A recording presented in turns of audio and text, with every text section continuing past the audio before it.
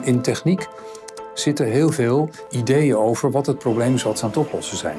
Ja, en niet zelden um, klopt dat niet helemaal. Ik geloof ook helemaal niet dat wij in staat zullen zijn om diezelfde complexiteit, die variatie, alles wat het echte leven heeft, dat we daar ooit toe zullen komen. Ik denk dat alles wat wij toe zullen komen, daar altijd een karikatuur van zal zijn. Dus eigenlijk kun je dan op digitale ondersteunde wijze een betere kwaliteit van zorg leveren. Nou, en dat zouden we als uitgangspunt moeten nemen.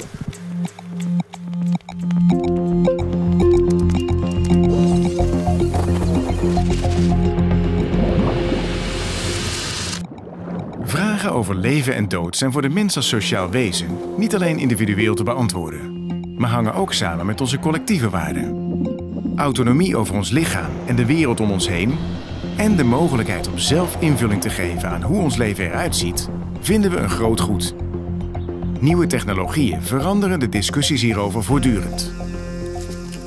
Het is onderdeel van onze maatschappij. Uh, dus het is logisch dat we als mens de natuur ja, naar onze hand hebben willen zetten. Maar goed, het kan soms uh, ja, iets te ver doorslaan. En ja, dat is wat wij doen. Onderzoeken van hoe kun je nou zorgen dat die technologie zo wordt toegepast dat het past binnen nou, de, de wetten die we hebben, binnen de ethische kaders die we ook bijvoorbeeld in de gezondheidszorg belangrijk vinden. Uh, en dat je dus ook voorkomt dat er onnodige risico's worden genomen. Alleen maar omdat ja, een bepaalde technologie interessant is. Uh, ja, en de wetenschap natuurlijk ook wel geïnteresseerd is om te kijken wat dat allemaal voor mogelijkheden biedt. Onze kennis over de bouwstenen van het leven, over gezondheid, veroudering en menselijk gedrag is enorm toegenomen. Ook worden we ons steeds meer bewust van de rol die technologie en innovatie daarbij spelen. Wat betekent dit voor ons eigen leven? Door de vooruitsnellende ontwikkelingen worden we gedwongen om na te denken over de ruimte die we biotechnologische en geneeskundige verbeteringen in ons leven willen geven. Wij denken na over wat is het verschil tussen de, de, de moleculen die in een cel zitten en een levende cel. En een levende cel is nog maar de basis van een ingewikkeld organisme zoals de mens. Dus uiteindelijk om een mens te maken, of, eh, of de meeste dieren, alles wat niet eencellig is, heb je meerdere cellen nodig die gespecialiseerd moeten zijn, die communiceren, die weefsels maken. Of we dat ooit zouden willen namaken, dat is zeker niet wat nu op de radar staat. Begrijpen hoe de wereld om ons heen in elkaar zit, inclusief het leven, dat hoort nou eenmaal bij ons. Daar ben ik heilig van overtuigd. Dat, uh, dat, dat, ga je er niet uithalen. En het is ook niet, het is niet iets wat van buiten op ons gegooid wordt. Dat hebben we zelf ontwikkeld. Dus het, ik vind dat het gewoon echt bij de mens hoort. Je ontwikkelt nieuwe kennis, nieuwe technologie en daardoor worden er allerlei dingen mogelijk die als het goed is ons leven makkelijker, gezonder, uh, meer houdbaar maken. En tegelijkertijd zullen er altijd uh, dan wel commerciële belangen of hele andere belangen zijn die, die precies diezelfde mogelijkheden zien, maar dan voor heel andere doeleinden. Dus ja, ik denk ik denk eigenlijk dat dat niet inherent is aan of het nou deze technologie is of die technologie. Of dat je daarom een technologie wel zou moeten ontwikkelen en een andere niet. Want het is totaal onvoorspelbaar wat zowel de, het gebruik is waar, wij, uh, nou ja, waar we weer met z'n allen een stapje verder mee komen. Versus uh, de toepassingen die je misschien liever niet wil, dat kun je niet voorspellen. Je weet alleen dat als samenleving we altijd die twee kanten op zullen zoeken. Dus je kan dan beter maar, denk ik, goed met elkaar in overleg zijn, blijven, transparant zijn. Dat, uh, dat je daarop kunt voorbereiden. Zowel in het politieke debat als in de media is altijd aandacht voor de spanning tussen individuele behoeften en collectieve waarden. We moeten samenkomen tot kaders voor wat we goed en wenselijk vinden, rekening houdend met alle groepen in de samenleving. Ja, er is natuurlijk een hele grote overeenkomst uh, in het debat over ja, genetisch modificeren van mensen en genetisch modificeren van planten, van voedselgewassen. Um, nou, een argument wat heel vaak wordt opgebracht is dat uh, mensen het onnatuurlijk vinden. Maar wat je ook bij beide debatten eigenlijk ziet, is dat ja, de wetenschappers de technologie als heel veelbelovend afschilderen.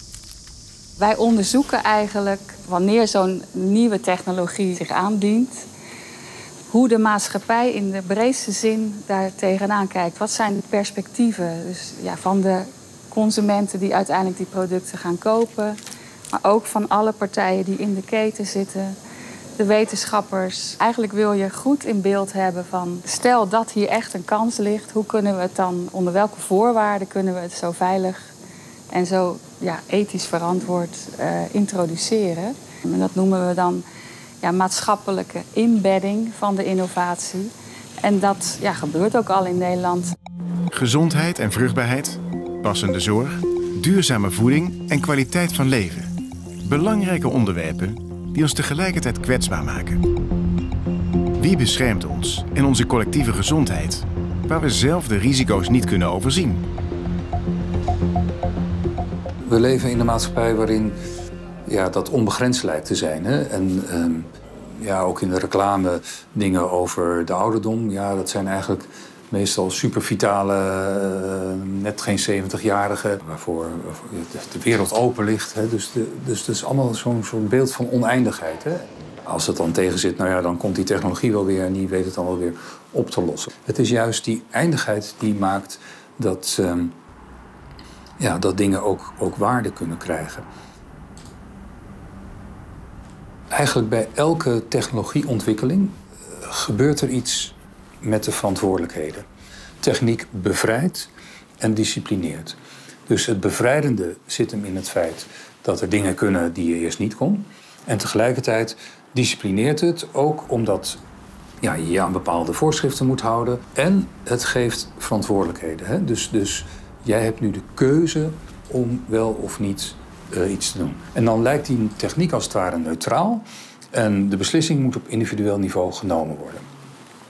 En dat vind ik een te kort door de bocht redenering. Uh, want A vind ik dus dat we die techniek veel meer in co-creatie zouden moeten ontwikkelen en niet zomaar als een neutraal gegeven aan de wereld moeten presenteren. Maar B denk ik dat er wel degelijk ook een, een, zeg maar een soort groepsverantwoordelijkheid is. En, en dat is een gesprek dat we niet graag meer aangaan. In werkelijkheid is, is techniek heel vaak een antwoord op bepaalde problemen die in de maatschappij worden gevoeld. En ik denk dus dat techniek juist in interactie met de maatschappij wordt ontwikkeld. En daarmee eigenlijk voortdurend ook onderwerp zou moeten zijn van ethische discussie. E-health, het definitief veranderen van menselijk DNA, zorgrobots, de zorg van de toekomst krijgt nu al vorm. Hoe zorgen we dat hierbij de gezondheid en waarde van mens, dier en milieu voorop staan? Er was één verschrikkelijke casus. Je hebt Keizer Permanent, dat is een heel goede club in Amerika. Die hebben al heel veel digitalisering, maar allemaal op logistiek. Er was laatst een casus, werd beschreven, dat ging toch niet helemaal goed. Er was iemand op de IC, die was net wakker geworden, maar hij, hij lag er beroerd bij met een nierziekte. Oude meneer, en hij ging dood. En toen komt er zo'n robotje aan, wat normaal gewoon zegt van... hallo, goedemorgen, en uh, dit is je menu van de dag of zo. En daar was opeens een beeldscherm van een dokter op afstand. En die was dan ingeseind om even te praten met die patiënt. En die zei, ja, ja, goh, volgens mij heeft u niet zo lang meer te leven. We denken binnen 48 uur dat het voorbij is. En het was ook zo. Dat klopt ook, feitelijk was het juist. Maar die meneer was niet zo blij dat dat met een of ander surf-robotje aan hem werd. Hij had graag een mens gesproken met een warme hand, zeg maar. Uh, dus ja, het is ook niet beter om het op die manier te doen.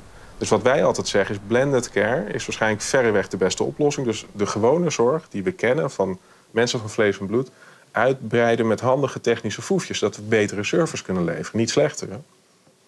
En dat is een heel veel minder spectaculair verhaal. Want dan gebruik je gewoon je smartphone om een betere diagnose te kunnen stellen. Of te kunnen beeldbellen met een collega. Hey, ik heb hier iets geks, kun je even helpen, kun je even meekijken. Nou ja.